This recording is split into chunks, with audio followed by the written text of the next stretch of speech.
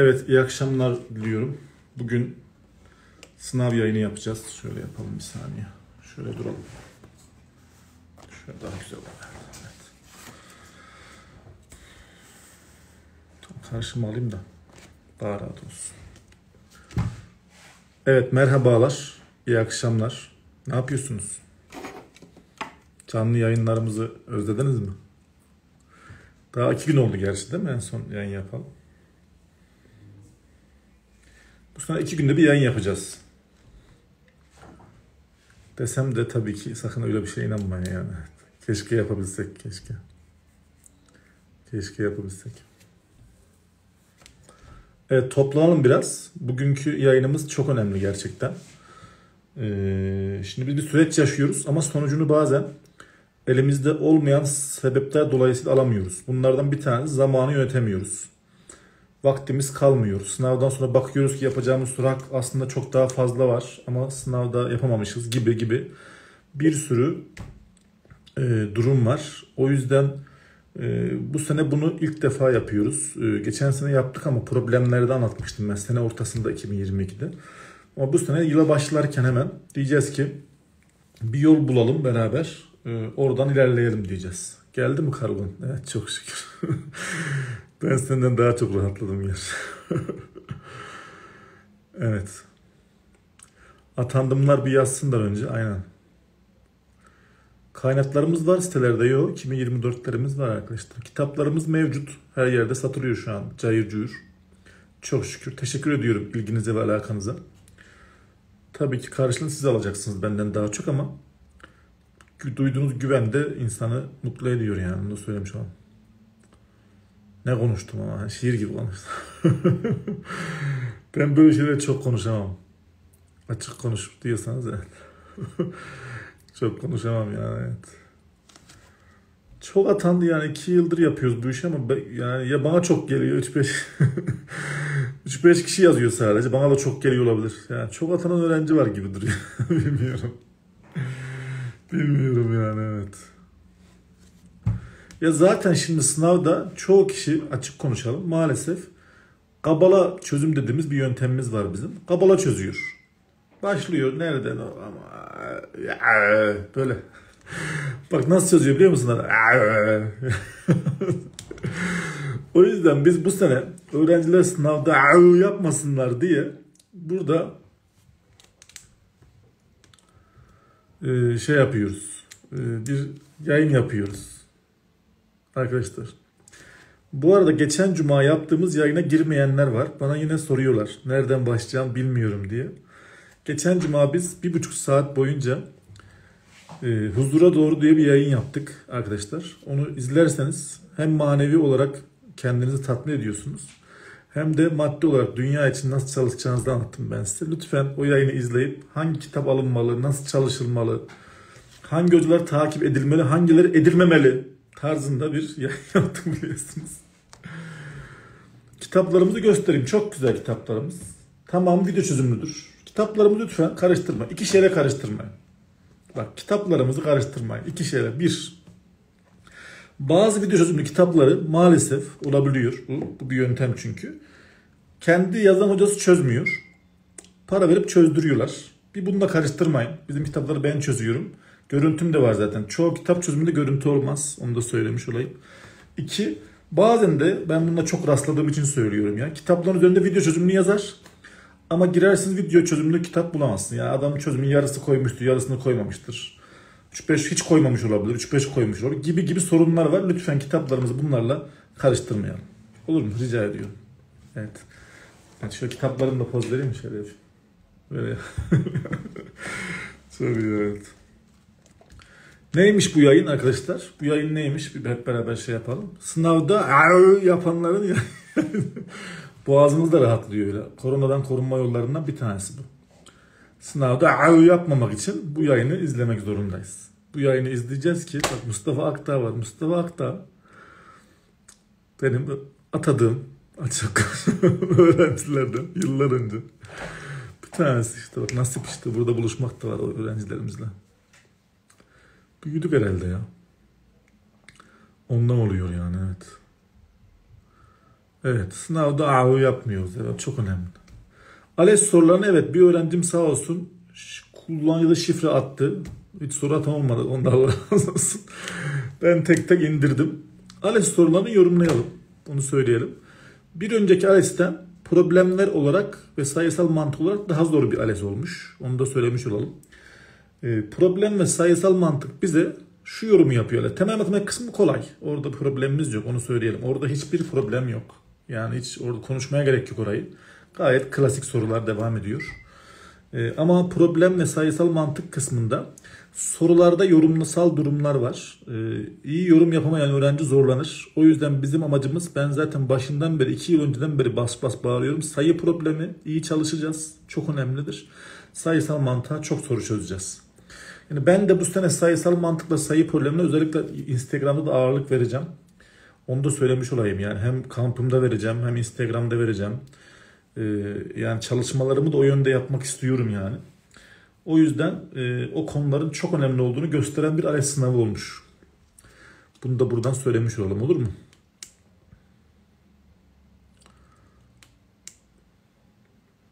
Şimdi arkadaşlar evet şöyle soru çok fazla geliyor. Ben e, şu kitap özellikle çok soruluyor yani. Çok sorulan kitaplardan bir tanesi bu kitap. Onu da bilgisini tekrar bak yine soranlar olduğu için verelim.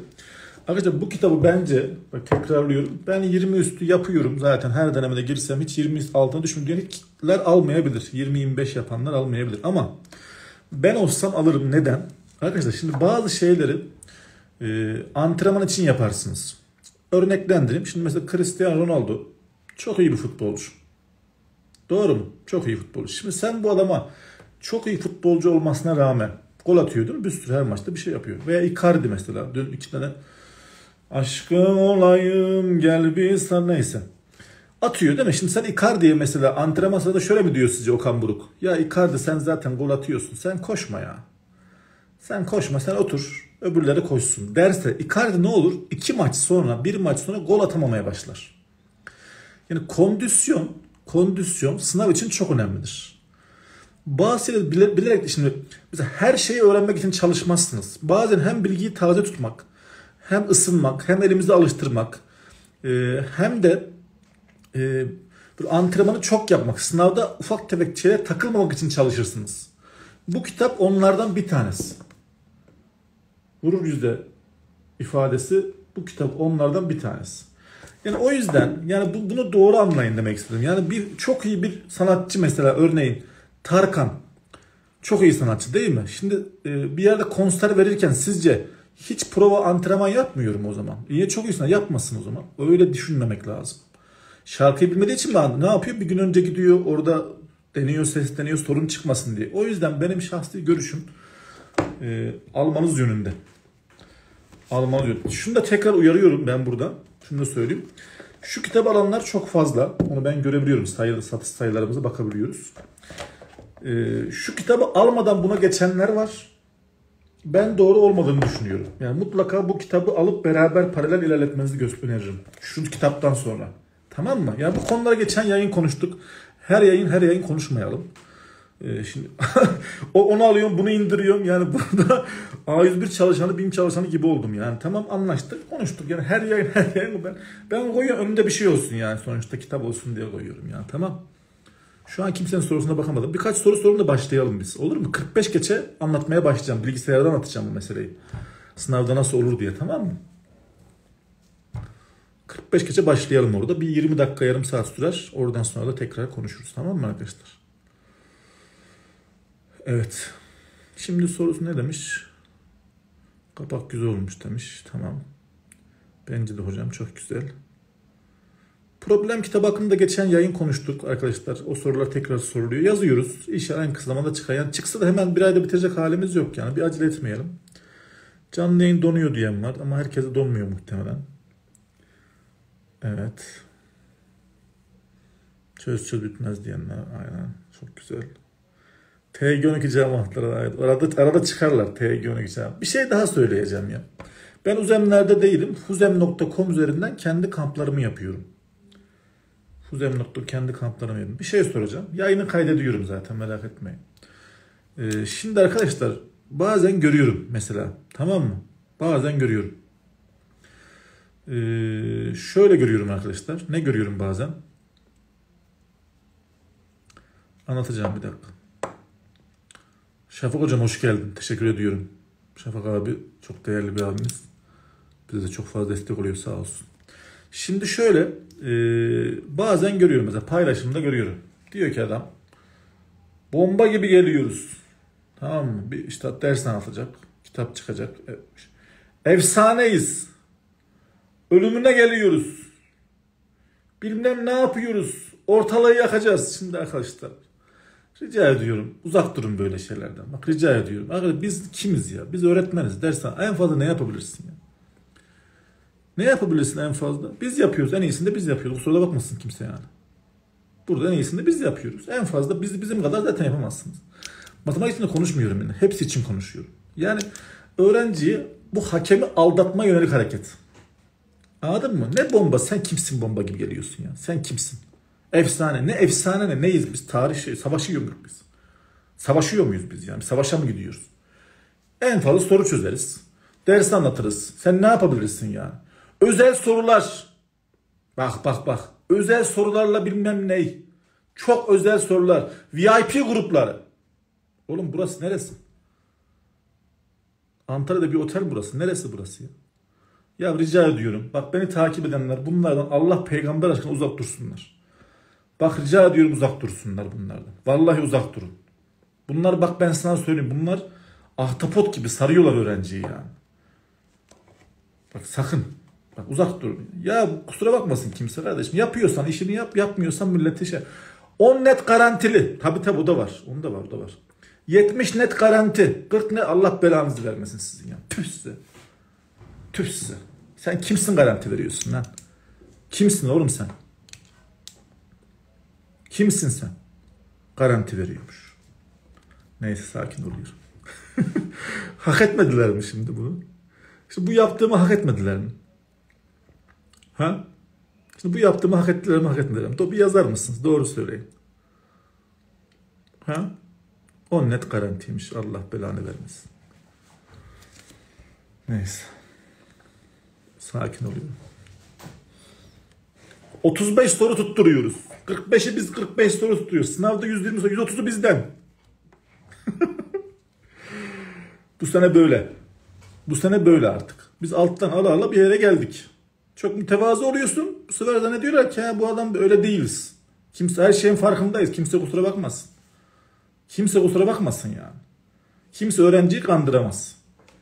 Tamam bu saatten sonra böyle. Kandıran karşısında beni bulur. Hangi branş olursa olsun. Hadi hodri meydan. Hadi bakalım. Adam reklam veriyor. Şimdi ben görüyorum buradan. Ben görüyorum reklamlar size düşüyor. Düşmüyor mu şimdi? Bilmem ne bilmem ne. Şimdi bak reklam verirken bak şöyle yapacaksın bak. Şöyle bak şimdi. Ben mesela hiçbir yayında size bir dershaneye gitmeyin dedim mi? Demedim. Başka bir kitap almayın. Sakın şöyle yapmayın. Şu hocayı takip demedim. İsim vermem. Dersine gitmeyin dedim. Faydalan kardeşim. Benden anlıyorsan benden faydalan. Benden anlamıyorsan başkasından faydalan. Doğru mu? Tamam. Problem yok. Ama dinliyorum mesela. Şimdi bir online platform reklam veriyor örneğin. Şimdi diyor ki ben diyor online çalışıp kesinlikle diyor dershaneye gitmeye gerek yok diyor. Bak görüyor musun ne kadar tehlikeli. Ne kadar tehlikeli bak cümle görüyor musun? Niye, ne diyor? Başkasının ekmeğine oynamaya çalışıyor. Bak bu çok yanlış. Bu öğrenci merkezi değil. Veya bir dershanedeki bir öğretmen de online kesin almayın diyorsa o da yanlış. İmkanı olan imkan dahilinde hizmet alacak kardeşim. İmkanın varsa yüz yüze anlıyorsan dersine git tabii ki ya. Niye gitmeyesin? En iyi eğitim yüz yüze eğitimdir. Yazı söylüyorum burada. En iyi eğitim yüz yüze eğitimdir. Ama artık teknoloji değişti. Pandemiden sonra uzaktan eğitim biraz da bizim öğrencinin yaş sınırı büyük olduğu için daha çok e, uzaktan verim alabiliyor. Daha küçük yaşta uzaktan daha zor. YKS'de, LGS çok daha zor. Burada biraz da öğrenci bilinçli olduğu için alabiliyor. Alabiliyorsan bunu da al ilaveten. Yok evdesin çıkamıyorsun mesela. ilçedesin dershane imkanın yok gibi gibi durumlarda online'ım çok faydalı. Veya işte biz ders veriyoruz. Adam şu an bana 1070 kişi bağlanmış. Nereden bağlandı? Kıbrıs'tan bağlanan vardır. Tekirdağ vardır, Şırnak vardır. Ben onlara hiç gitmedim mesela. Bunun gibi faydası var buranın. Problem yok. Ama ben size kalkıp diyorsam ki ya bir dershaneye gitmeyin biz sadece size yeteriz diyorsam kusura bakmayın. Bana da haddimi bildirin yani. Olmaz. Binlerce insan ekmek yiyor dersen dedim. Ben başkası ekmeği yönet bu işi yapamam yani. Onu da söylemiş olalım. Demek anlıyor musunuz benim? Saat 44 geçiyor bu arada. Yani o yüzden böyle birilerini kötüleyerek başka bir iş yapanlara lütfen e, prim vermeyelim olur mu? Ben çok hiç sevmem o işi ya. Hiç sevmem ya evet. Ya evet bir hafıza teknikleri var. Yani bütün parayı sponsorlu basmışlar. Yani bir tane öğrenci hiç ben görmedim hafıza teknik etiketlesin paylaşsın. Keşke paylaşsa da görsek. Tamam da ama diyor ki dersine kesin gitmeyin diyor. Çok yanlış. Niye gitmesinler? Sen misin bütün Türkiye'ye öğretecek şey? Sen misin yani? Sen olmasan kimse bir şey öğrenemiyor mu yani? Niye? Herkes gidiyor dersine. Bir sürü insan var giden dersine yani. Olmaz. Ka- kimseyi kötüleyemezsin kardeşim. Sen kimsin ya? Türkiye senden mi anlamak zorunda yani? Bir, bir sürü paraya veriyorsunuz orayı. Niye? Soru sormak için soru başı para alıyorsunuz. Bedava çözsenize. Milletin sorusunu. Allah Allah. Hocaya bağlanma şekli diyor. Yaz, ne kadar para alıyorsun söyle. Bedava mı çözüyorsun ya? Neyse sakin olacağım. Evet sakin oluyorum. ya ben aklıma gelince konuşacağım bu sene. Artık kusura bakmayın iki senedir konuşmadım. Ama artık konuşacağım. Hem işimi yapacağım hem konuşacağım. Hazır mısınız? Hazır mısınız? Hazır mısınız? Başlıyoruz. Şimdi sakin olacaksınız. Arkanızda yaslanın. Ben ne yapacağım şimdi? Bir deneme sınavında. Şimdi bakın. Bireysel arkadaşlar ben sakinim. Hoca sakin yazmayın. Ben sakinim. Ben takılıyor. Takılmayın. Şimdi bak. Bir deneme sınavında veya bir KPSS sınavında nasıl başlamam lazım anlatacağım. Bu bir. Birkaç türlü anlatma şeklim olacak. Mesela diyeceğim ki şöyle başlayanlar. Ama şimdi buna rağmen şöyle bir durum vardır. Mehmet Teyit'le alakalı bir şey söylemedim bu arada. Onu da yanlış. Alta yazıyorsunuz adam yanlış anlayacak. Alakası yok yani. Hiç uydurmayın. İsim de vermedim. Siz de isim vermeyin yani. Tamam mı? Mehmet hiç alakası yok. Yani. ondan bahsetmiyorum. Ee, şimdi şöyle. E, bir şey diyordum unutturdunuz bana ya. Dur. Evet anlatacağım tamam mı? Anlatacağım. Şudur şudur şudur diyeceğim. Ondan sonra ee, şimdi sizin bireysel farklılığı olur. Şimdi ben bunu anlatıyorum. Diyorum ki Türkçeden başlayan şöyle yapsın, matematikten başlayan şöyle yapsın diyorum. Çat mesaj. Ben coğrafyadan başlıyorum. Mesela ben ne bileyim coğrafyadan başlayan nasıl yapsın. Yani bu işin iki matematiği vardır. Yani %90'ı sınavın bir e, Türkçe ile başlar, bir de coğrafya ile başlar. Anlaşıldı mı? Bu işin iki mantığı vardır. Türkçe ve coğrafya ile başlayabilir. Tamam mı? Arkadaşlar bak tekrar söylüyorum böyle yaparsanız ben kızarım bak buna. Başka bir hoca yazmayın altı. Bak ben demedim bir hoca ismi. Onunla da alakası yok. Biri iyi biri kötü yazar. Bu da maç yapmıyoruz yani. Tam sevdiğim şeyler değil yapmayın. Şimdi konumuzu değiştirin yani. Konu değişti bitti o işte. Anlattım gitti. Ee, ama dediğim gibi bireysel farklılık olabilir. Ona ben karışmıyorum. Bak tekrar söylüyorum. Bireysel kapatacağım yorumları. Bekleyin kapatacağım. Bireysel farklılık olabilir. Tamam mı? Ona karışmıyorum. Ama genel bir hat çizeceğim. Ama sizden ricam da lütfen bak sizden ricam da arkadaşlar bu hattı deneme sınavlarında uygulamanız. Bak sizden ricam bu hattı deneme sınavlarında uygulamanız. Anlaşıldı mı? Bunu da deneme sınavında uygulayın yani. Tamam bilginiz olsun ya. Şimdi başlayalım bir ekran çevirelim bir görelim oradan. Tamam Yorumlara kapatalım. Yani siz biraz cıvıttınız olayı. Evet. Partizanlığa dökenler oldu. Ben bir şey söylüyor onu da yanlış anlıyorsunuz. Bir şey onu da yanlış anlayın yani. Bir doğru anlayın Allah peygamber aşkına. onu doğru anlayın bana. Tamam dur şimdi dur ekranı çevireceğim. Dur şimdi. Stüdyo görüyor musun stüdyo? Şu mikrofonu görüyor musun mikrofon? Dur şimdi. Ben uzun zamandır da böyle ekran çevirip ders yapmadığım için ayarı bozulmuştur. Şöyle yaparsak. Bir dakika dur. Şimdi olacak.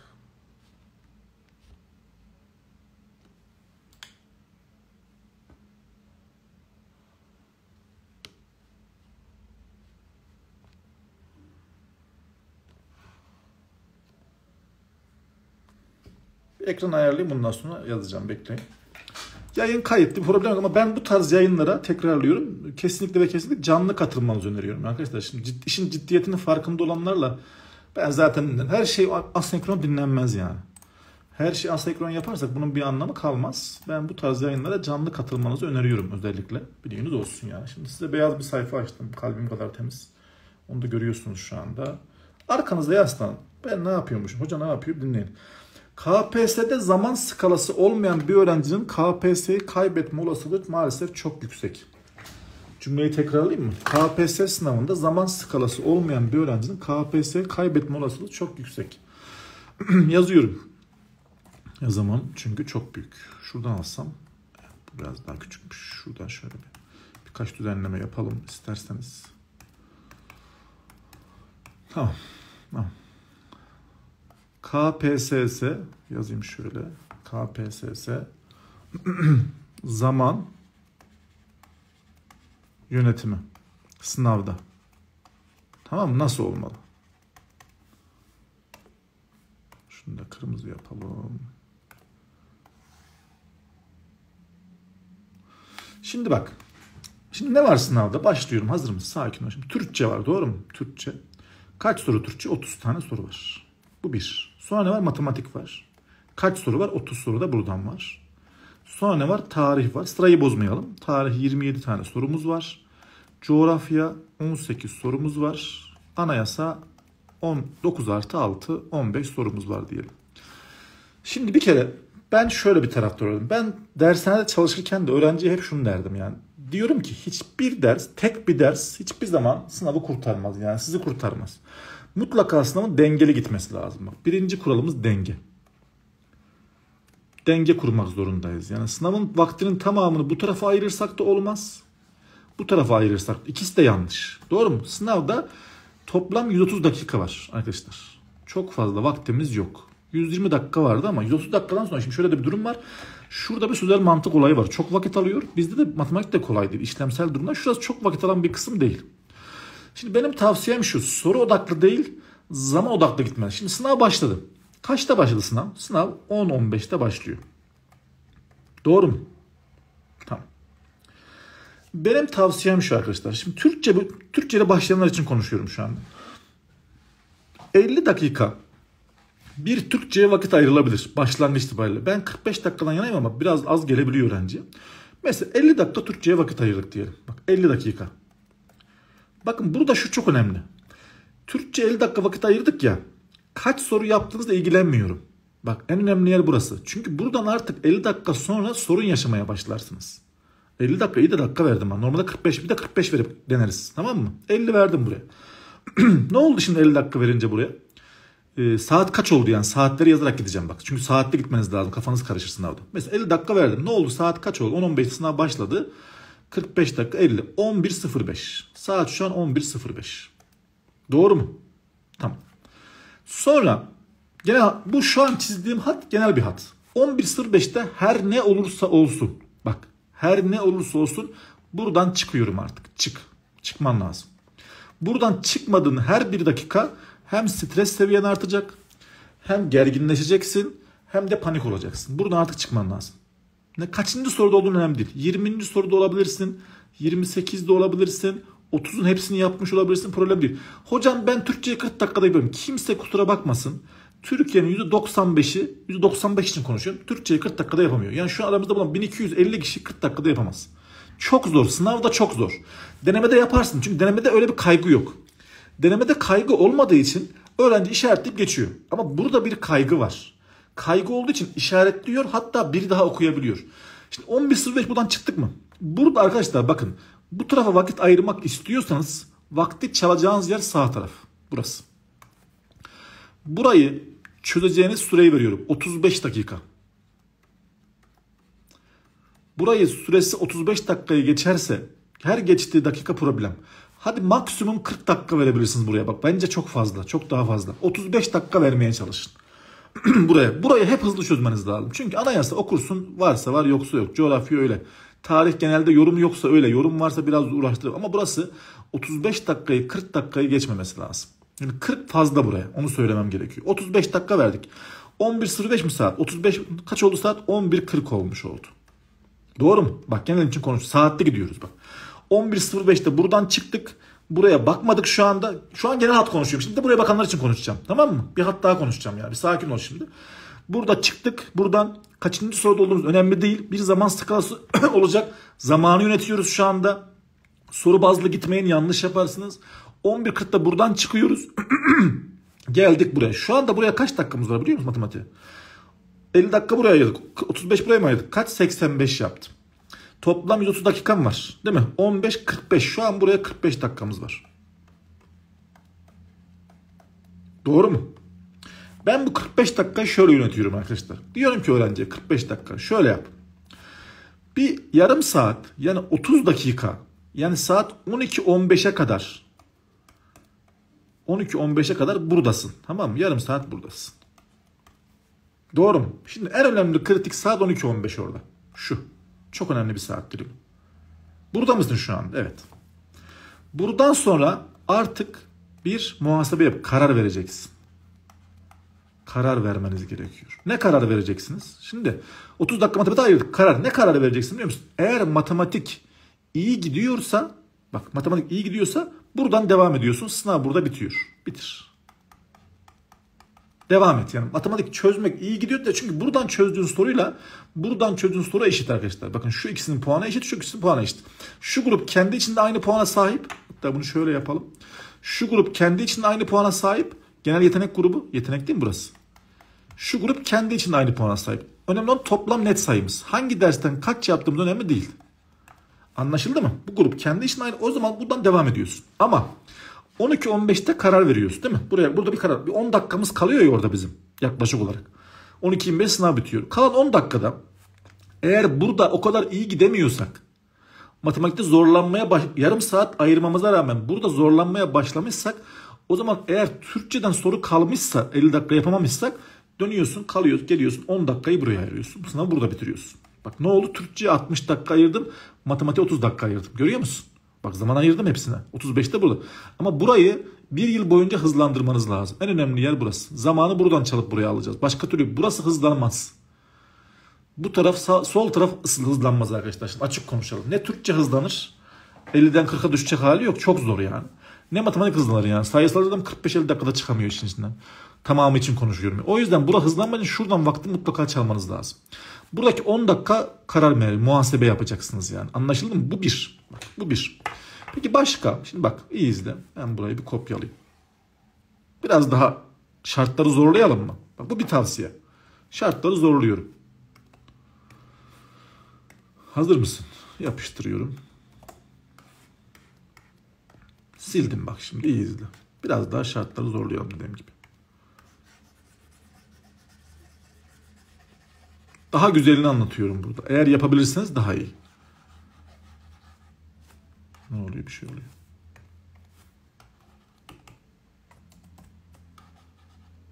Dur şimdi anlatacağım. Zamanlı gitmeniz lazım. Bak tekrarlıyorum. Soru odaklı gitmeyin. Yani Türkçe bitince matematik geçerim. Bu cümle yanlış. Hayatınızın hatasını yaparsınız. Bu bitsin ona geçerim. En büyük hatayı yaparız. Sakın ha. Zaman odaklı gideceğiz. Başka çaremiz yok.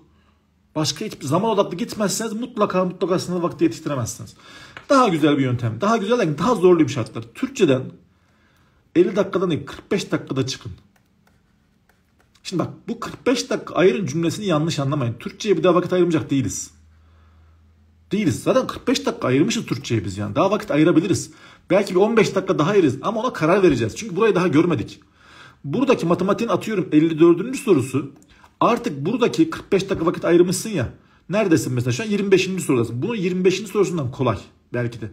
E bunu yapmak yerine niye ben bunu yapayım? Gerek yok. Bu daha kolaysa bunu yapayım. Önemli olan net sayımızın fazla olması. Mesela doğru sayımızın fazla olması. Ha, nereden yaptığımızın bir önemi yok. Tekrar söylüyorum. Şimdi 45 dakika ayırdım buna. Bak. Ne oldu şimdi bu? O zaman buradan biz saat 11'de çıktık. Bak daha saat başı aldık. Gördün mü? Saat 11'de Türkçeden çıkıyorsun. Çok güzel. Çıktın mı? Geldim buraya. Kaç dakikaydı? 35. Bunu zorlamak zorundayız. Mecburuz buna. Yani burası 50 dakika 60 dakika sürerse o sınav kazanılamaz yani. 35. Ne oldu saat şu an? 11.35. Doğru mu? Saat bazlı gidiyorum bak. 11'de çıktım buradan bak. Hem size saat başı olur kafanız karışmaz. Çıktım mı 11'de? Çıktım. 35 dakika 11.35'de buradan çıktım mı? Çıktım. Geldim matematiğe. Matematiğe de burada bak daha bir sürü dakikam var şu an farkında mısınız? Atıyorum 12.10. Hatta dakikasını yazayım onun ben. 35 dakika ayırıyorum şu an bak. 35 dakikam verdim matematiğe doğru mu? Kaldı bak şu anda saat kaç biliyor musun? Şu an saat 12'yi 10 geçiyor. Görebildik mi bak 25, 10, 12, 10 geçiyor. Ve şu an benim sınavı bitirmem hala ve hala 15 dakikam var. Doğru mu? İşte bu 15 dakika ne, ne dakikası? Karar dakikası. Yine karar vereceksiniz. Karar vereceksiniz. Eğer matematik iyi gidiyorsa yapabiliyorsam, ileriki soruları gördüysem, lan ben bunu yaparım diyorsam devam edeceksiniz. Eğer bu tarafı yapamıyorsanız bu 15 dakikayı burada yapamadığınız sorulara ayıracaksınız. Hala 10 bak. Ne oldu? Artı 15 yaptım. Türkçe'ye 60 dakika ayırmış oldum. Şimdi bununla şunun farkı ne biliyor musun? Şimdi sen böyle yapmıyorsun. Türkçe'ye direkt 60 veriyorsun. Direkt 60 verdiğin zaman panik oluyorsun artık. Çünkü yanlışın oluyor, boşun oluyor, canın sıkılıyor. Panik olunca bunları panikle çözüyorsun artık. Yani şunları ayık kafayla çözemiyorsun. Bunları ayık kafayla çözemediğin için artık geliyorsun matematiğe 35 dakika yerine buraya heyecanlısın adrenalin var. 40-45 dakika veriyorsun şuraya. Kalıyorsun hani matematiğe 20-25 dakika. Matematik hiçbir şey yapmamışsın bak doğru mu? 20-25 dakika kalmıyor. O zaman daha büyük bir panikle matematik zaten yapamıyor. El titriyor. Ama biz 45 verip buraya 45'te bitirirsek nerede bitirdin? 23. soru mesela. Yap ya. Ya kardeşim bak ben 15 yıldır bu işin içindeyim. Adam Türkçe'ye 1 saat veriyor. Atıyorum 60 dakika. Hepsini yaptım diyor. Arkadaşlar Türkiye'de şöyle bir şey var. Türküz diye her yaptığımız Türkçe sorusu doğru çıkacak demek değil ya. Yani her yaptığımız Türkçe soru doğru mu çıkacak? Ne alakası var ya? Ne alakası var yani? Adam 30 soru işaretliyor. 22 doğru 8 yanlış. Bunun yerine 22 soru işaretle 8'ine bakma 21 doğru bir yanlış çıksın. Daha karlısın. Neden? Çünkü 30 soru işaretleyen buraya bakamadı vakti kalmadı. Ama 22 soru işaretleyen buraya 35-40 dakika ayırdı. Burada neti var adamın. Bu, bu neti daha fazla arttı bu adamın. Yani her yaptığımız Türkçe sorusu doğru değil ki kardeşim. Anlamadıysan boş bırak. Türkçeden boş bırakmayı öğrenmeyen bir öğrenci sınavda problem yaşar. Bak söylüyorum. Ben bunu geçmişlere dayanarak söylüyorum. Yani Türkçeden boş bırakmayı öğrenemezseniz sınavda sorun yaşarsınız. Net söylüyorum ben size yani. Boş bırak ya. Ne yap biliyor musun? Bak 24 soru işaretle 23, 22, 2 çıksın. Bak burası. Sen ne yapıyorsun? 30 soru işaretliyorsun. 22'ye 8 çıkıyor. Ne oldu şimdi? 2 soruda gitti. 20 netim var. Burada 21,5 netim var. Hem vaktin var hem netin çok. Hem vaktin yok hem netin yok. Dedim anladınız mı? Bak hem vaktin yok hem netin yok. Orada hem vaktin var. Matematiğe vakit ayırdın. Hem netin var. Matematiğe kalan zamanı kullanırsanız bu sınavı maalesef maalesef söylüyorum kazanamazsınız. Matematik kalan zamanın kullanacağı bir sınav değil. Tekrarlıyorum. Matematik kalan zamanın kullanacağı bir sınav değil. Başka bir sayfa. Devam. Dur. Bitmedi öyle yok öyle. Hemen gitme yok öyle. Öyle sıkılıp gitmiyoruz biz buradan değil mi? Anlatıyoruz. Bekleyeceksin öyle yok. Bak şimdi. Tipik klasik öğrenci yapalım.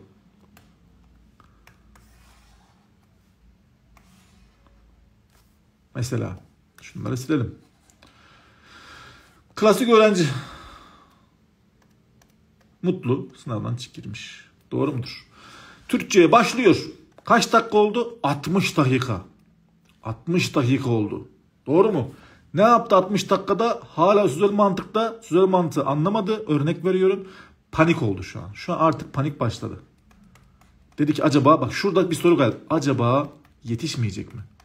Sorusu şu anda kafasını kemiriyor. Geldi. Matematiği salladı. iki tane sayfa çevirdi. 3-5 sövdü sövdü geçti burayı. Buraya geldi. Bu panikle burayı yaptı. Buradan da atıyorum. Coğrafyada 3 tane 4 tane zor soru çıktı.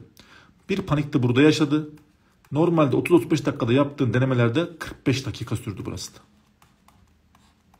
Doğru mu? Ne oldu? 60, 45, 105 dakika olmuş oldu. Kaldı 25 dakikası. Aklı kesinlikle şu an burada değil. Aklı hala yapamadıklarında. Buralardaki zorluk derecesi kafasını karıştırdı. Buradaki 25 dakikada tamamı zaten buraya ayırmadı. Ayıramaz. O panikle yapmaya kalkıyor, yapamıyor. İki soru çözüyor, boş bırakıyor. Buradan da tekrar buraya dönüyor. Bak klasik öğrencinin yaptığı hatayı söylüyorum. 3-5 soru yapıyor, panik oluyor, çıkmıyor. Birini yapıyor, sonu gelmiyor. Birini yapıyor, bir şey olmuyor. Diyor ki ben birkaç da Türkçe bakayım, yapamadığım soru vardı veya şuradan bakayım. Veya sayısal mantık bakayım. Bir, bir onu çeviriyor, bunu çeviriyor. Ne yapıyor biliyor musun? 9-10 soru işaretleyebiliyor en fazla. O da 7 doğru, 3 yanlış, 6 doğru, 4 yanlış çıkıyor. Maalesef erken kayıttan faydalanıyor. Maalesef yani. Ben burada, burada iyimser oldum. Burayı 45 dakikada yaptırdım size. Burası normal 50-55 dakika sürüyor bu panikle. Onu da söyleyeyim yani. Veya Türkçe'ye bak şu var ya 65-70 dakika ayıran var. Kafayı diyor bir kaldırdım diyor. Şu kafa şu. Şundan bahsediyorum. Bu kafa. Kafayı diyor bir kaldırdım diyor. Saat diyor 11.30 olmuş diyor. 75 dakika ayırmış. Bak bunlar yaşanmış hikayeler gerçek kesit gibi. Kafayı kaldırdım diyor 11.5 saat Türkçedeyim diyor. Sınav 12.25'te bitiyor. 55 dakikası kalmış. Daha 90 sorusu var. 90. Mümkün mü ya? Mümkün mü? Nasıl yapacağız biz bunu? Kolay mı bu işler yani? Hiç kolay değil. Ondan sonra o panikle yapamazsınız. Sınavdaki mesele şu. O zamanı yönetme amacımız yani benim bu yayını yapma amacım zamanı yönetemezsen panik olursun. Paniği yönetemezsin. Problem orada. Şimdi matematikteki sorular bir rahat çözmek var. Bir panikle çözmek var arkadaşlar. Panikle rasyonel sayı sorusunu dahi çözemezsiniz. Bak söylüyorum panikle rasyonel sayı sorusunu dahi çözemezsiniz yani. İki üstü gelir bir mutlak değer gelir kafan karışır çorba olur. Söylüyorum yani bunu. Bunlar ger- gerçek yani yaşanmış. Şuradan da bir tane zor çıkar şu taraftan veya tarih. Ya tarih mesela iki sürpriz soru çıksa bir sene konuşuluyor zaten. Ders öyle bir ders. Coğrafya mesela bu sene biraz zordu diyor. Ben bilmem. Ben anlamam ama öğrencinin yap kattığı yorum şu. Hoca belki zor değildi der. Öğrencinin kattığı yorum hocam 3-4 soru coğrafyadan biraz zorlayıcıydı dedi. Benim an, duyduklarımı söylüyorum size yani. E ne oldu işte bak ne oldu burada biraz denge bozuldu. Burada denge bozuldu mu burada? Ama zamanı yönetirsen bozulmaz. Zamanı şu, az önceki gibi yöneteceksin yani. Anladın mı demek istedim? İlk başta yaptığım gibi yapacaksın. Veya bir önceki gibi 25 dakika olayı vardı ya öyle yaparsanız çok daha güzel olur. Dedim anlıyor musunuz? Şu. Benim tavsiyem şu. Ekran resmi almanızı tavsiye ederim şurası. Şefin tavsiyesi bu. Dengeyi böyle kurarsınız bence. 45 dakikayla başlarsınız bu işe. Şurası 45 olur. Sonra burayı geçersiniz doğru. Ben şimdi matematikten devam edenleri de anlatacağım. Biraz bekleyin sabırlı olun. Hepsi birden anlatamıyoruz yani. Amacımız bu yayını bir an önce yap bitirmek değil. Biraz bekleyin sabırlı olun. 35 dakikanızı ayırırsınız. Buraya 35 dakika verirsiniz. Sonra kalır 15 dakikanız hala. Ondan sonra da karar verirsiniz.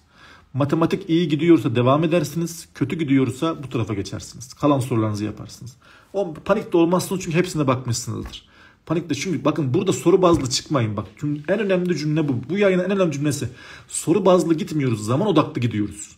45 dakikada kaç soru yaptın kardeşim? 20 soru mu yaptın? Tamam çık. Emin olduğun soruları yap. Bu 45 dakikayı baştan başlayarak devam ediyorsun ama emin olduklarınızı yapın. En önemli yer burası. Bu 45 dakikada emin olmadan hiçbir soru yapma. Arkadaşlar sınavda zor soru, kolay soru aynı puanı getiriyor. Fark eden bir şey yok. O yanlışa düşmeyin. Dil bilgisi. Hiç yapmasan da aynı puan gelecek yani. Önemli olan mesela burada kaç soru yaptın? Mesela 21 soru, 22 soru yaptın diyelim net. Netin var 22. 8 tane dil bilgisi çıkmıyor? Hiç dil bilgisi yok mesela içinde. Başka bir adam da 22 soru yapmış. Bütün dil bilgisini yapmış. Aynı puan alacak. Yani farklı puan almayacak yani. ÖSYM seni arayıp lan sen nasıl insansın dil bilgisi bilmiyorsan atamayız demeyecek yani. Dedim anlıyor musunuz? Burada bildiğiniz 20 20 bak bu ne bu 45 dakikada kaç soru yapsan rahat olurum ben biliyor musun? Mesela 22 23 soru işaretleyebilirsen rahatım ben. Böyle emin olduğum. Anladın mı? Bak denemelerde bunu deneyeceksiniz işte bak. İşte buradaki problem ne biliyor musun? Neyi yöneten adam kazanır biliyor musun? Burada boş bıraktığı zaman panik olmayan adam kazanır. Boş bıraktığı için panik olmayan. Şimdi burada bakmadığı soru var.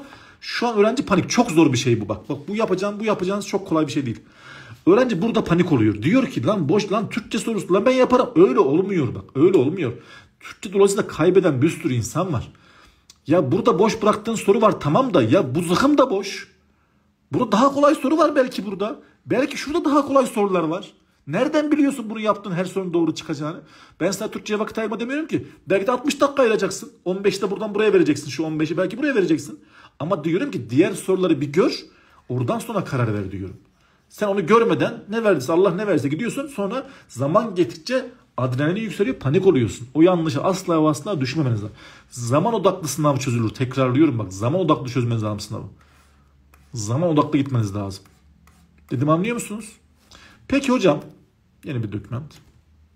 Bir saniye bekleyin. Hocam ben matematikte başlıyorum diyenler olabilir aramızda. Değil mi? Olamaz mı? Bunlar da olabilir yani olur. Niye olmaz? Bekle. Tamam. Şimdi matematikte başlayanlar da onlara zaman odaklı gitmek zorundalar. Çünkü niye biliyor musun? Mesela matematik nasıl bir derste biliyor musun? Dalarsın. Böyle dalarsın. Çok uzaklara dalarsın. Takılırsın. Çözemezsin. Zaman su gibi akar. Sen 1-2 dakika ayırdığını zannedersin bir soruya. O da soru 5 dakika o sorudasındır. Ve hala o soru bu senin için boştur. Matematik böyle bir derstir. O yüzden matematik yapmaya yaparken ben matematikten başlıyorum diyenler olabilir. Problem yok. Bak şuradan başlayanlara sözüm yok. Buradan başlayanlar da şöyle yapsınlar. 35 dakika yapsınlar yine. Buradan başlıyor. O kolay. 35 dakikayı geçirmesinler. Gelsinler buraya veya buraya buraya gelirlerse ben buraya gelmesin. Yani Türkçe e, şöyle söyleyeyim ben size. Sona bırakılacak bir ders olduğunu düşünmüyorum. Tekrarlıyorum cümleyi. Türkçenin sona bırakılacak bir ders olduğunu düşünmüyorum ben. Yani bunu yaptık, bunu yaptık, sonra bunu yaptık olan bir ders değil. Bana sorarsan çünkü niye? O yorgunlukla o ders yapılmayabilir. Onu söylemiş olayım ya. O yorgun o ders yapılmamış olur, yapılmayabilir. 35 bunu yapsınlar. Gelsinler 45 dakika bunu ayırsınlar. Sonra dönsünler buraya. 35 45 80 yaptı şu anda. 50 dakikamız var. 35 dakika bunu ayırsınlar. Sonra yine karar versinler. 15 dakikamız var. Ondan sonra ya bu ya bu devam etsinler. Fark etmez. Ama şu 35 çözerlerse problem yok. Tarihten başlayanlar için soruyorum. Hocam ben matematikten başlıyorum diyenlere de konuşalım. Sonra ekranı çevirelim. Soru cevap alalım. Ee, yine sorularınızı cevaplayacağım yayından sonra. Kalanlar kalsın yani. İşte ben matematikten başlıyorum hocam. Tamam. Matematikten başlıyorsun da matematiğe belli bir zaman vermek zorundasın. Yani 40 dakikayı bence kesinlikle geçmemesi lazım. Bak kesin. Bak katı bir kural veriyorum size şimdi. Bak kesin. 40'ı geçti her dakika bence yanlış. Çünkü artık e, derse bakış açın, oradaki heyecanın, adrenalinin farklı işlemeye başlıyor. Artık geciktim psikolojisi ortaya çıkmaya başlıyor. Arkadaşlar panik havasıyla soru çözmek de normal heyecansız soru çözmek farklıdır. 40 dakikadan sonra kesinlikle çıkmaz lazım. Yani bu kaç yapıyor? 10.55 yapıyor bu saat. 10.55'te buradan çıkmanız lazım. Sonra muhtemelen Türkçe'ye geçeceksiniz. Ben öyle görüyorum şu an. Yani buradan buraya geçecek hali genelde böyle oluyor. Sonra Türkçe'ye geçeceksiniz. Yine burada biz Türkçe'ye 45 dakikamızı ayıralım. 40-45 ne yaptı? 85. Kaldı 45. Kaldı buraya 35 dakika. Yine 35 buraya geçirmiyorum hiçbir sene. Ne yaptı şimdi? 45, 35, 80, 120. Kaldı bizim 10 dakikamız. 10 dakikada da karar verelim. 10 dakika kaldı. Karar vereceğiz. Bu da karar dakikası. Ne kararı vereceğiz? Acaba ben matematikte yapabileceğim sorular vardı. Ona mı devam edeyim? Yoksa Türkçeden devam edip sınavı bitireyim mi?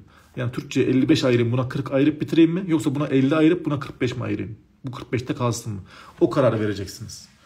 Dedim anlıyor musunuz? Bu da çok önemli. Ama lütfen bak çok önemlidir bu. Zamanlı çalışmanız lazım. Zamanlı sınavı yönetmeniz lazım. Soru odaklı değil bak. Şimdi arkadaşlar bak. Sene başında girdiğiniz denemeyle sene sonu girdiğiniz deneme arasında fark oluşur. Neden? Şimdi sene başında çok konuyu bilmeyen bir öğrenci denemede bir sürü vakti kalır. Bu vaktin çoğunu Türkçe veya matematiğe ayırabilir. Problem yok. Çünkü tarih bilmiyor, coğrafya bilmiyor. Tarihte adam 3 ay konu görüyor. 5 soruluk konu görüyor. Bununla onu karıştırmayın. Ama sene sonu geldiği zaman artık biz tüm dersleri ve konuları çok detaylı biliyoruz. O yüzden burada zaman ayırmaya başlıyor. Yani buranın ayıracağımız zaman artarken burası az, azalmaya başlıyor. Dedim anlıyor musun? Yani sene başı denemenizi sene sonu denemenizi karıştırmayın. Bir de deneme sınavıyla sınav anındaki zaman skalası farklı olabilir. Deneme sınavında çok rahat çözüyorsunuz. Sınav anında o rahatlık olmaz arkadaşlar. Deneme adam dışarı çıkıyor bilmem ne yapıyor soruya bakıyor bir şey. Ya bir sürü bir sürü etken var. Sınav anı çok farklı bir süreç. Orada bir heyecan var, adrenalin var, tekrar soruya dönememe var. Acaba bu sene olacak mı? Kafanda bir sürü şey dönüyor. E, Türkçeyi okuduğunu bir daha okuyorsun, matematiği anlamıyorsun. Ve lütfen ve lütfen hiçbir soruyla kavga etmemeniz gerekiyor. Bak söylüyorum hiçbir soruyla. Matematikçi olabilirsin sen ya. Yani ben de matematikçiyim. Bazen sınavda yanlışım çıkıyor. Olabilir. Biz sınavı boşumuz ve yanlışımızla kazanıyoruz. Bak bu cümlemi unutmayın. Biz sınavı boşumuz ve yanlışımızla kazanıyoruz arkadaşlar. Hiç kimse full yaparak yani full yaparak sınav kazanan öğrenci yok. Atanların hepsi boşu da var yanlışı da var yani. Bizim amacımız ne biliyor musunuz? Yanlışımızın olabildiğince az çıkması. Buradaki mesele boş bırakmayı öğrenmek. Dedim anladınız mı yani? Yanlışımız az çıksın çok önemli. Mesela atıyorum kaç soru var sınavda KPSS'de şeyde burada? 120 soru var. Doğru mu? 120 soru var. Şuraya yukarı yazıyorum. Şimdi 120 sorudan mesela 87 net soru işaretledin. Bak bak anlatıyorum ya. 33 tane boşun var şu an farkında mısın? Sen bunu görünmüyor gerçi orası biraz değil mi herhalde? Bir altı alayım mı şurayı biraz? Şöyle orta yazalım. Mesela 120 soru var. Bak söylüyorum. Şöyle bir öğrenci mi olmak isterdim? 120'de 120'nin hepsini işaretledim. Hepsi işaretli 120'nin. Benim buradan 30 tane yanlışım var. Böyle bir öğrenci mi olmak istersin? Yoksa 120 soruda 90 soru işaretledim. 90 soru işaretledim. Benim buradan 5 yanlışım var. 30 tane boşum var. Bak 30 boş var. Sen bunu bir sınavdan çıkınca birine söylesen derler ki sen kazanamazsın. Bak söyleyeyim sen kazanamazsın derler. Ama bak şimdi 120 30'u yanlış mı? Ne oluyor biliyor musun bu adam? 90 doğrusu var. Ama net sayısı 7.5 gidiyor. 82.5 neti var. Bak, Bu adam toplamda. Peki bu adamın 5 yanlışı var. 85 doğrusu var. 5 yanlışım var. Bu adamın 83.75 neti var. Gördün mü? Aradaki farkı görebildiniz mi? Fark anlıyor musunuz? Bak. Bu adamın 82.5 neti var. Bu adam daha fazla. Bu adam 30 soruya bakmadı. Zamanı çok iyi yönetti. Doğru mu? 30 boş bıraktı bilmedik soruyu. Bu adam da zamanı yönetemedi. Her soru işaretledi. E ne oldu şimdi? Kim karda? Sayısal veri burada ortada yani. Görebiliyorsanız sayısal veri ortada. Anlaşıldı mı arkadaşlar? Bakın bu nokta çok önemli. Yani boş bırakmaya bir KPSS öğrencisi alışması lazım. Yani Türkçe'de mesela boş bırakmak günah gibi davranıyorsunuz. Yani adam 30 soru yapmış. Ben şunu gördüm ya 18'de 12 yanlışı var. Allah peygamber aşkına Allah'tan kork Müslüman ya. O zaman matematiğin hepsini işaretle. Matematiğin suçu ne yani? Adamın 18 bunlar yaşandı ha 12 yanlışı var. Bu adamın 15 neti yapıyor. 15 net. Ve diyor ki bu adam matematiğe vaktim kalsa yapardım diyor. E kardeşim ne oldu burada yani 12 tane yanlış yapıyorsan sen emin olmadığın bir sürü soru işaretlemişsin. Ya işaretleme şu zıkımı. Ne oluyor ki işaretleyince? Doğru çıkmadı işte. Buna vakit ayırdığın içinde matematik vaktin kalmadı. E burada şöyle yapsaydın. 20 soru işaretleseydin 18 doğru 2 yanlış çıksaydı 17,5 net yapardı. Doğru mu? Bu adam matematikten 5 net yapmış. Vakti kalmamış. E bunu yapmışken vakit kaldığı için de bu matematikten 15 net yapardı. Ya o kadar ortada ki her şey. Yani burada bir dersi biz yapın yapmayın konuşmuyoruz ha. Zamanı doğru yönetin diyoruz. Bildiğiniz soruları yapın diyoruz. Emin olmanız şey çok işaretleyin. Boş bırakmaktan korkmayın. Verdim örneği. Hiç boş olmayan bir öğrenci 90 doğru, doğru 30 yanlışı var. 30 boşu olan bir öğrenci. Bak 30 tane boşu var ya. Daha karda. Karda bu adam. Bundan çok puan alacak. Bu kadar açık olay ya. Ben daha ne anlatayım ya. Anlaşıldı mı? Zaman odaklı sınav çöz, çözmeniz lazım. Bak zaman odaklı. Başka türlü maalesef ve maalesef bu sınavda aynı hatalara düşebilirsiniz. Yorumları açalım. Ekran döndüreceğim. Bir saniye. Sorusu olanların sorusunu alalım. Tamam mı? Burada kalalım biraz. Döndürdük. Evet. Anladınız mı bir şeyler? Kafanızda bir şeyler oluştu mu? Yani sınavda zaman skalası diye bir şey var yani. Anlıyor musun? O zaman skalasını doğru yönetmezsen ne olur? O zaman işte yetişmez. Sen kalan vakti matematiğe kullanıyorsun. Hayır. Her derse vakit ayıracağız. Doğru mu? Ya biri atıyorum örneğin öğrenci çok fazla sözleri çok çok iyidir. Ya belki o 5-6-5-10 dakika daha arttır Türkçe o zaman matematiğe şey yap. Azalt ben ona bir şey diyemem yani. Orada bireysel farklılıklarınıza bir şey demiyorum. Mesela şunda bazı öğrenciye şu anda mesela atıyorum 5 matematik yetiyor. Ya o adam 45 dakika ayırmasın matematiğe tabii ki. Dedim anladık mı ya? O adam niye 45 dakika ayırıyor? Onu çözün meseleyi çözün ya. Tamam Bence çok güzel yayın yaptım. Nasıl yayın yaptım? Doğru söyle. Nasıl yayın yaptım şu anda? Çok güzel yayın yapmadım mı? Doğru söyle. Bence güzel yaptım ya. Güzel bir yayın olduğunu düşünüyorum. Bunu ne yapacaksın şimdi? Denemelerde deneyeceksin bunu. Ama şununla karıştırmayacaksın. İlk denemelerde bunu deneyemezsin. Eğer sınava yeni başlamışsan eğer. Hem optik meselesini de konuşayım. Doğru söylüyorsun evet. Optik formada ben olsam sayfa sayfa işaretlerim. O sayfayı çözerim işaretlerim. Açık konuşuyorum. Bir sayfada 3-4 soru var onları çözer işaretlerim yani. Ben olsam. Çünkü ben şunu çok duyduğum için söylüyorum. Sınavda şimdi arkadaşlar sınavda her şey size bir yük. Mesela optik işaretlememek de bir yük. Dedim anladık mı? Mesela optik işaretlemiyorsun ya.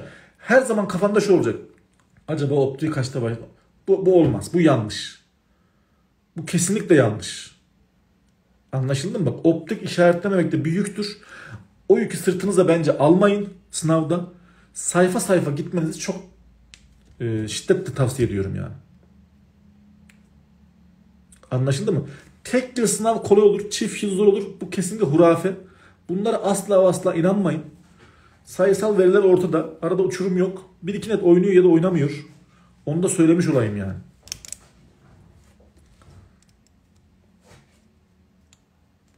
Soru soru gitmeyin. Çok dikkatli alın ama e, lütfen ve lütfen sayfa sayfa işaretleyelim. Bak sınavda tekrarlıyorum arkadaşlar.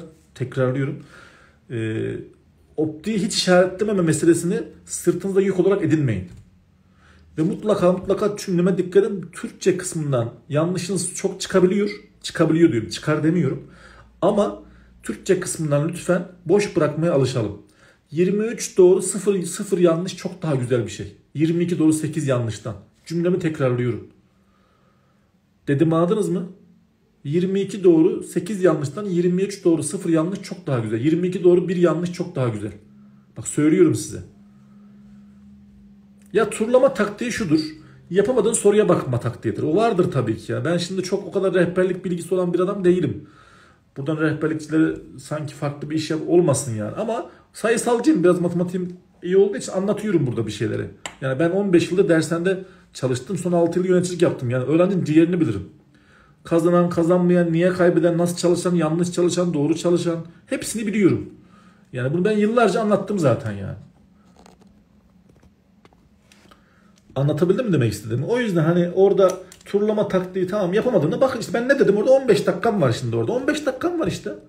15 dakika karar vereceksin bak. Hala 15 dakikam var ve her derse bakmışsın. Peki bugün en önemli şey neydi sizce? En önemli şey neydi bugün? En önemli şey neydi biliyor musunuz bugün? Eğer bu dediklerimi yapacaksanız, sınavlarda bunu yapacaksanız tarih, coğrafya, anayasadan 35 dakikada çıkmanız lazım. En önemli şey öyle. Orayı olabildiğince hızlandıracaksın. Orası hızlanabilir. Türkçe hızlanamaz belki. Matematik çok hızlanamaz. Oradan çok kısamayız.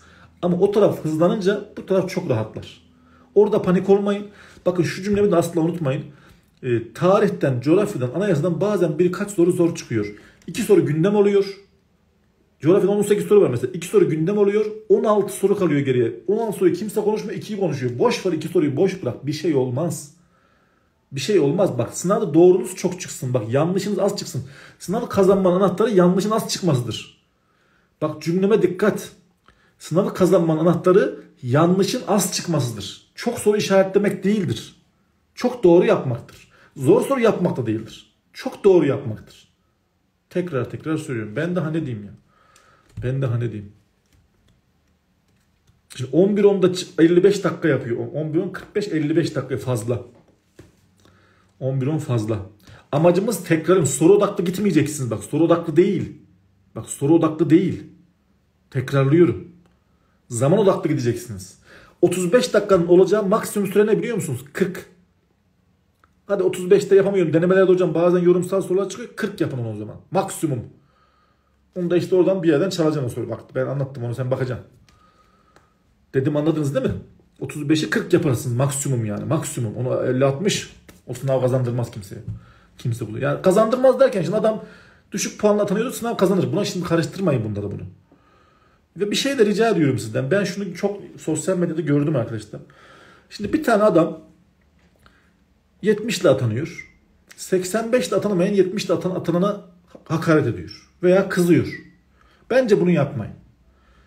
Çünkü 70 ile atananın 70 ile atayan yani kendisi bunu yapmamış zaten. Yani şöyle bir durum var. E, sistemi kuran o değil. Öğrenciye çok kızıyorsunuz. Bence orada yanlış yapıyorsunuz. Yani adam o ya o bölüm öyle atanmış. Sen de 3 kişiden önce öyle atanıyordun mesela. Şimdi bu doğru değil. Hepiniz aynı gemidesiniz. Burada birbirinize düşman değilsiniz bak. Bu yanlışa düşmeyin. Ben çok bunu görüyorum. Adam diyor 70 ile atanmış. Öneri veriyor diyor. Neyi hak etmiş ki diyor. Ben 85'te kalmışım diyor. Bu doğru değil. O da sana der ki o zaman benim bölümü gibi okusaydın der. Bunun sonu yok. Bu doğru değil ama. Tamam. Ben anlıyorum. Atanamayan öğrencinin gerginliğini çok iyi anlarım ben.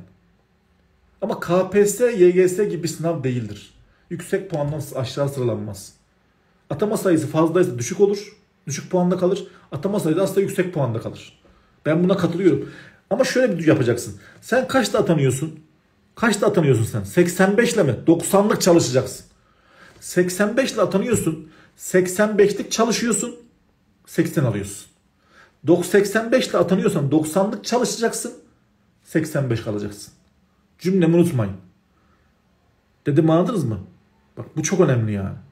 Ben canınızın sıkıldığının farkındayım. Tabii ki farkındayım. Tamam. Orada problem yok. Ama dediğim gibi onu da söylemiş olalım yani.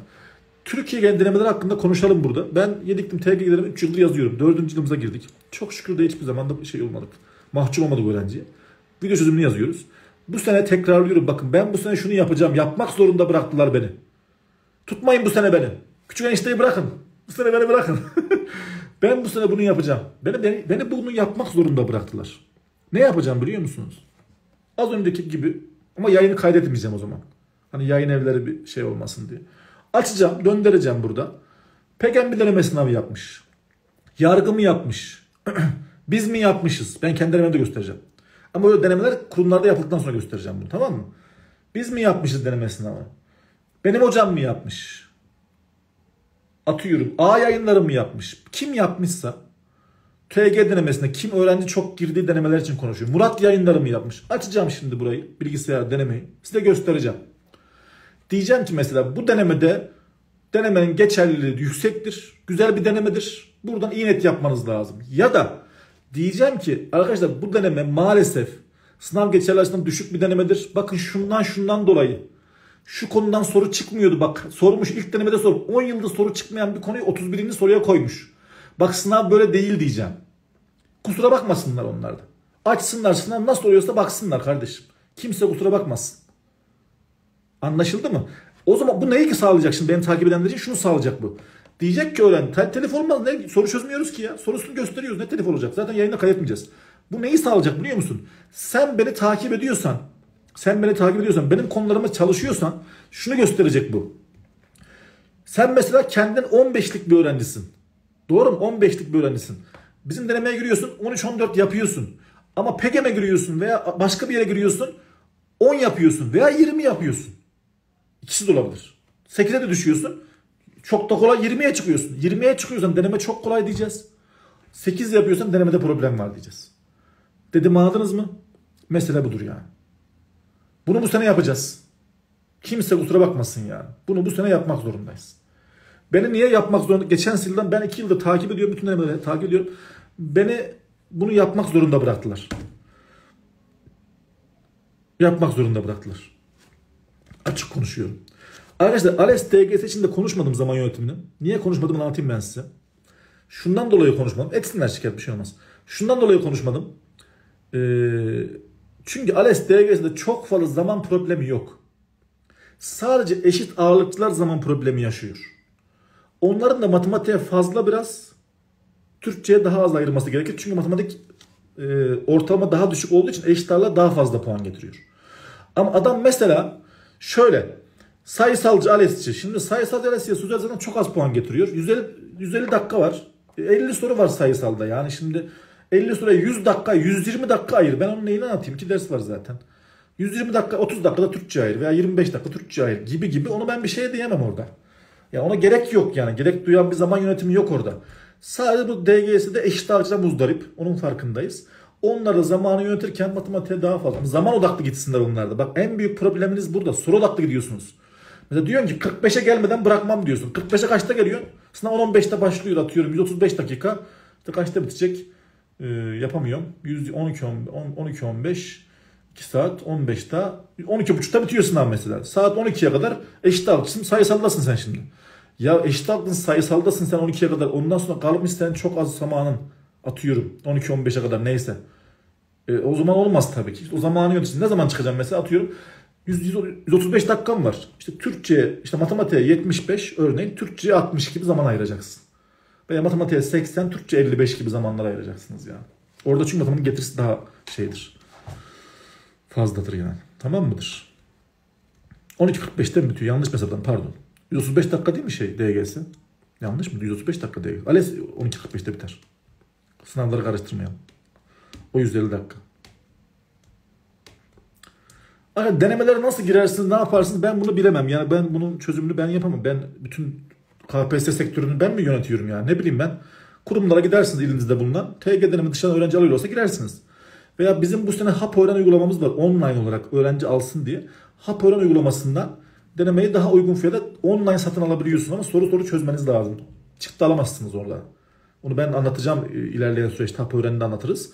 Ee, bu sene çıktı Hap Öğren. Geçen yılın sonlarında çıktı yani. Hatta kitabımız soru bankamızın arkasında var zaten. Hap Öğren diye indirebilirsiniz yani. Hap iki tane P ile öğren diye indirin. Ee, bir de e, mesela atıyorum Eylül'de denemeler başladı. Ekim'de denemeler başladı diyelim. Ee, birkaç ay sonra biz denemeleri 1-2-3 diye satışa sunuyoruz. Ee, hani öğrenci ulaşsın diye. Oradan da ileride çözeceksiniz öyle satış sunulacak denemeler yani bilginiz olsun. Durum budur yani. Bence bayağı konu hakkında konuştuğumu düşünüyorum. WhatsApp grubu kuracağımı söyledim evet arkadaşlar. Ben onu da, da bir daha söyleyeyim isterseniz. Ee, Ben yaklaşık 400-500 kişilik bir kendime özel WhatsApp grubu kurmak istiyorum. Çünkü biz kendim kendimize büyüyen bir öğretmen kitlesiyiz. Yani bizim böyle bizden fazla takipçisi olan destekçimiz yok. Ee, O yüzden biz kendimiz bu 60 bin lira geldik. Hedefimiz bu sene 100 bini geçmek. O yüzden e, WhatsApp grubu kuracağım. Bunu da Instagram'da takipçisi 500 üzerinde olanları kabul edeceğimi söylemiştim. Telegram'dan bir ara ben size bununla alakalı paylaşım yapacağım. Birkaç hafta içinde yaparım. E, paylaşım çok kısa süreli kalacak çünkü herkes alamam. Bir başvuru açacağım. Başvuruda Instagram'ınızı da yazacaksınız. Orada Instagram'ı kontrol edeceğim. Eğer 500 üstüse gruba dahil edeceğim. Yoksa etmeyeceğim. Bu öğrencilerden de ben bu öğrencilere yönlendirme yapacağım yıl boyu yıl içerisinde yıl boyunca WhatsApp üzerinden onlar bana ulaşacak ben onlara ulaşacağım. Belki ekstra sorular falan da göndereceğim ara sıra. Ee, ben de bu öğrencilerden beni paylaşımlarını talep edeceğim. Budur yani olay.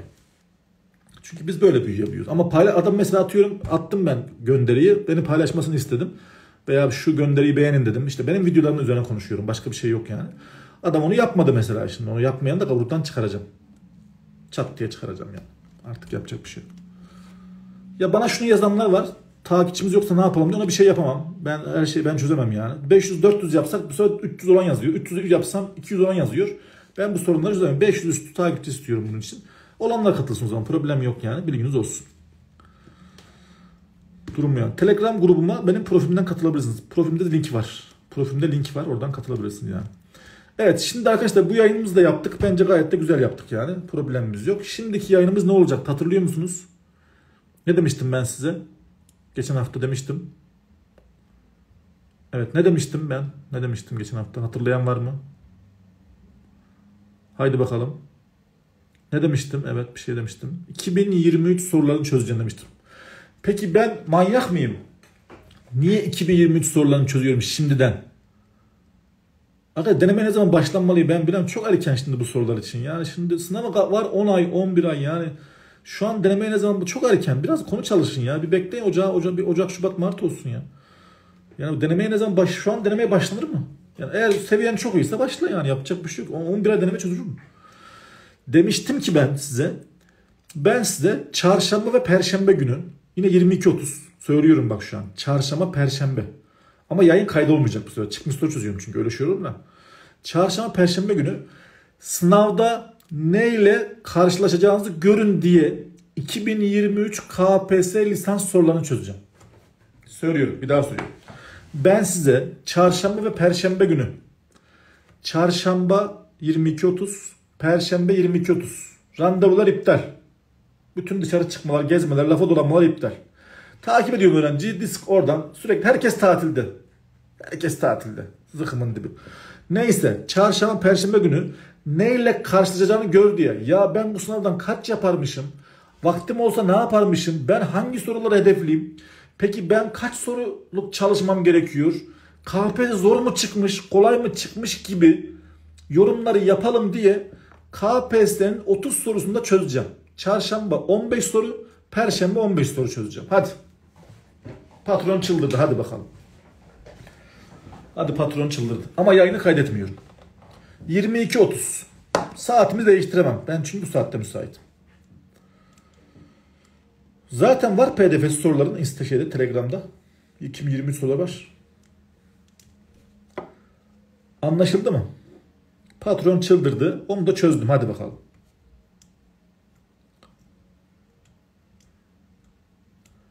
Biz online de, onu da çok soran var. Ben online dersle alakalı arkadaşlar benim yapacağım kampla alakalı ben kendi hesabımda en üstte bir tane sabitledim. 9-10 dakikalık bir video var. Onu lütfen izleyelim.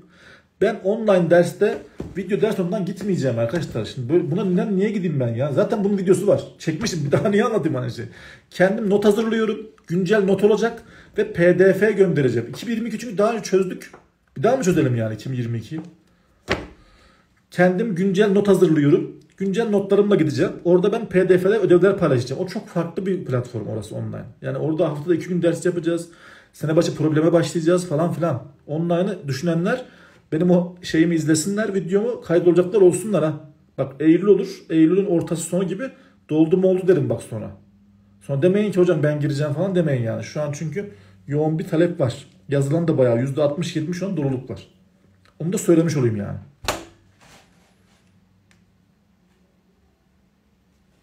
Dersler kayıtlı olacak. İstediğiniz kadar dinleyebilirsiniz. Orada. Ya şimdi kamp meselesini şöyle anlatalım. Ee, arkadaşlar şöyle bir durum var. Matematiğe ihtiyacınız ve verdiğiniz önemli alakalı bir şey. Yani hocam ben bu matematik zıkkımından dolayı sınavı kazanamıyorum. Yanlış çalışıyorum demek ya da eksik çalışıyorum diyen öğrencinin eğer bir maddi problemi yoksa kesin katılsın isterim. Bak söylüyorum burada ben. Açık açık söylüyorum yani. Çünkü niye destekler hem bunları çözer hem onlar riske atılmayacak öğrencilerin kesin katılması. Riske atılmayacak öğrencilerin. Hocam ben matematik yapmasam da yapıyorum. Türkçe açık kapatıyorum. Yapsam da yapıyorum. Videoları zaten anlıyorum. Ne gerek var diyenler tabii katılmaz. Ama yani ben hocam işimi şanslı atamam.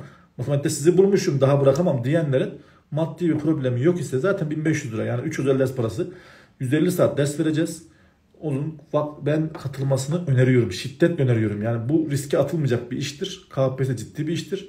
Atandığınız zaman şu anda bir memurun yeni başlayan ilk başta selamünaleyküm diyen memurun maaşı 23-24 bin lira arkadaşlar.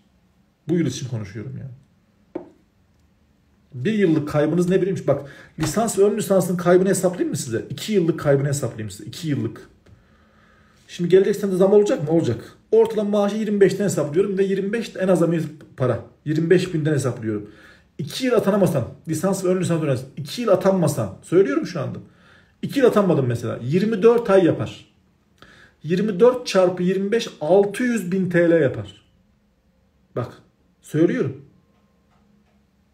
Bir öğrenci lisans ve ön lisans öğrencisi bir atama dönemi bir sınavı kaçırırsa, bir sınavı kötü geçerse, bir sınavda problem yaşarsa, 2 yıl atanamazsa, bak söylüyorum size, 24 ay için konuşuyorum. 24 ay aylık 25 bin azdan hesaplıyorum. Daha zamlar gelecek 2 yıl boyunca. 600 bin TL kaybı var. Maddi kaybı söylüyorum. Manevi söylemiyorum bile. Atanamadın mı? Yapamadın mı? Sen nasıl atanamadın? Daha bir sürü alım oldu. Evlensen, evlensen daha iyi olur. Get bir koca bul gibi gibi şeyleri de söylemiyorum ben sana. Ama 2 yıllık kaybı, 1 yıllık 300 bin, 2 yıllık kaybı. Bak lisans 2 yılda bir yapılıyor ya ön lisansla lisans. 600 bin kaybı var. Adam bana 1500 lira çok diyor mesela bak. Belki de atanacak. Bu iş böyle. Gerçekçi olalım. Gerçekçi olacağız. Kimse kusura bakmasın. Realist olacağız. Matematikte konuşuyorum ben burada şimdi yani. Bir memur için konuşuyorum yani. Bir memur için konuşuyorum.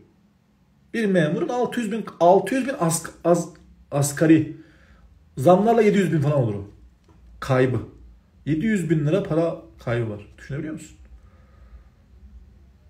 Atanamadığınız 2 yıl yani bir sınav kötü geçse 700 bin kaybınız var. O yüzden başka çaremiz yoksa her yolu deneyeceğiz. Ama doğru hoca, doğru kaynak. Size yolu gösteren, emek veren, size e, işte destek olan, zamanı size ayıran, insanlar, kitapların içeriği kaliteli olan hocaları takip edip destek olacaksınız. Onları bırakmayacaksınız. Söylüyorum. Yani onda, o da çok önemli yani. Doğru hoca, doğru kaynak diyorum. Tamam Bak mesela şimdi yayına girenlerin çoğu, bak altta sorulara bakıyorum. Yine aynı soruları soruyorsunuz. Geçen cuma yaptığımız canlı yayın dinlememişler. Bak dinlemiyorsunuz arkadaşlar. Siz, arkadaşlar ben anlatırım siz dinlemezseniz ben sürekli aynı sorulara cevap veremem. Veremem yani. Sürekli ben işte atıyorum Instagram'da ne yapacağız? Kitaplar şöyle mi? Kamp nasıl olacak? Hep aynı soruları ben dönüp dönüp duruyorum. Siz zahmet yayını tekrar takip edin, dinleyin. Baştan dinleyin.